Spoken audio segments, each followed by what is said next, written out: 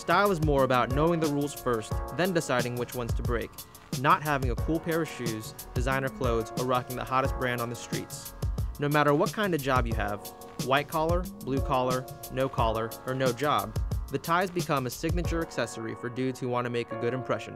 There are a billion ways to tie a tie, but the truth is, the only knot you really need to know is the four-in-hand. It's simple, clean, and looks good with anything. First, you'll need a tie. A good width is between 2 and 2.5 inches at the widest point. To start the knot, put the wide end of the tie on your right and the small end on your left. Let the wider end hang low, beneath your belly button and a little past your waistline. Cross the wide end over the small end. Then tuck it behind and pull it to the right. Now cross it over again and pull it up through your neck to create a loop. Pull the wide end through the loop and you're 90% there.